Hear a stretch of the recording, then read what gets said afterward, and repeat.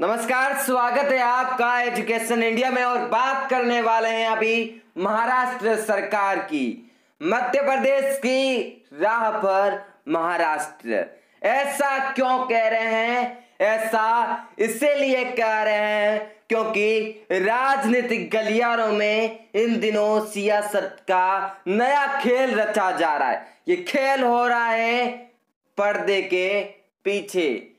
Front end पर कुछ और, बैक एंड पर कुछ और। ऐसा देखने को मिल रहा है महाराष्ट्र में। ऐसा हम नहीं, राजनीतिक विशेषज्ञ कह रहे हैं। लेकिन इसके बाद कुछ लोग हरकत में आए, जिनके ऊपर ये बयान दिए जा रहे थे, वो कहते हैं कि ऐसा कुछ भी नहीं है। और महाविकास अगाड़ी यानी कि एमवीए गठबंधन नहीं टूटने वाला है। सारी बातें करेंगे।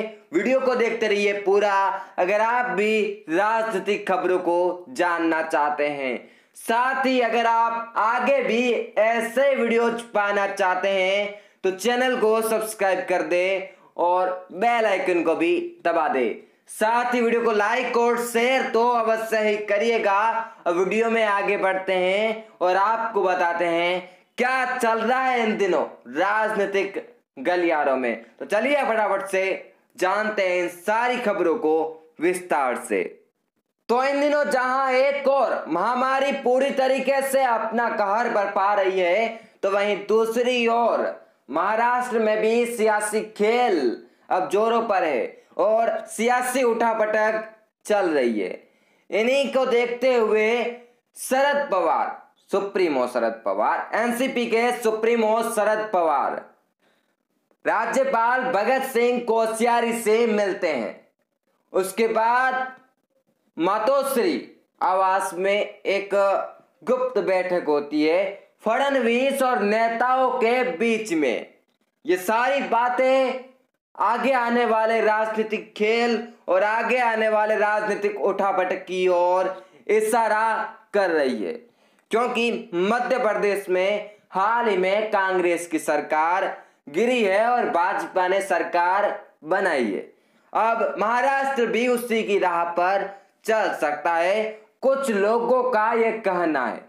इसके जवाब में शिवसेना के नेता संजय राउत ने ट्वीट किया। ट्वीट करते हुए उन्होंने लिखा कि जिनके पेट में दर्द है, वो सरकार को अस्तर कह रहे हैं। बल्कि सरकार तो स्तर है और इसे कोई भी गिरा नहीं सकता है। आपको बता दे, आज शाम को फडनवीस की प्रेस कॉन्फ्रेंस भी आयोजित होने वाली है और ये साफ़ तौर पर इशारे कर रही है कि महाराष्ट्र में कुछ और ही पक रहा है। सियासी गलियारों में कुछ और ही खेल चल रहा है और ये खेल किसी भी पार्टी की तरफ़ से हो लेकिन फ़ायदा उसे होगा जो मुख्यमंत्री बन जाएगा। क्योंकि शिवसेना ने भी तो भाजपा को मुख्यमंत्री पद के लिए ही तो छोड़ा था। और आखिर एनसीपी भी तो अपनी ओर से ज़्यादा से ज़्यादा मंत्री और मुख्यमंत्री के तौर पर देखना चाहती होगी। और उसके बाद अभी सब ऐसा ही देखने को मिल रहा है। मंत्री की दौड़ में हर कोई व्यक्ति नज़र आता है, जैसा मध्य प्रदेश में चल रहा है। मध्य प्रदेश में आने वाले हैं उपचुनाव। उपचुनाव में अब किसे बनाएँगे उम्मीदवार? ये सबसे बड़ा सवाल है। तो वैसे महाराष्ट्र में भी तो लोग हैं। और ये राजनेता चाहते ही है कि मंत्री बने।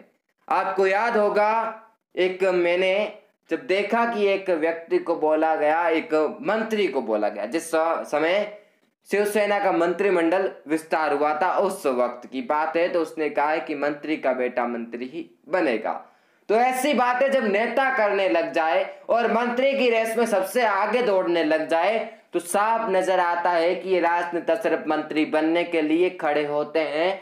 मंत्री बनने के लिए ये अपनी पार्टी को भी धोखा दे सकते हैं। तो एनसीपी किस खेत की मूली है?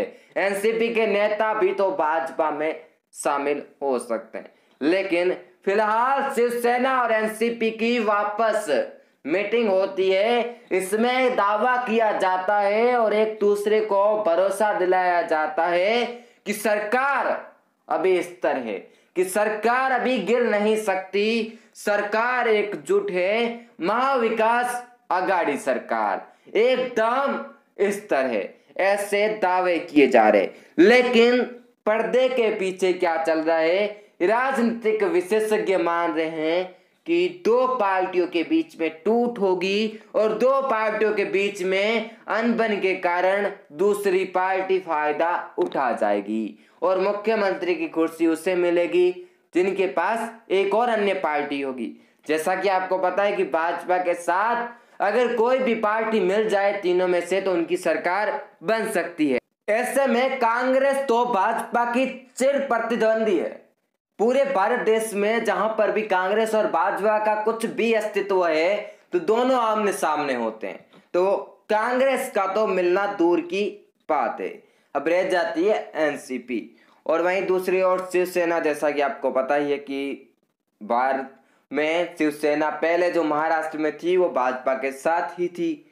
और ऐसे में एक और व्यक्ति का मिलना, साथ ही शरद पवार के साथ, उनका भी साथ जाना, ये सबसे बड़ा सवाल कर देता है, क्योंकि ये व्यक्ति चाणक्य चाणक्य, अभी की राजनीति के चाणक्य, अमित शाह और नरेंद्र मोदी के बहुत नजदीकी है।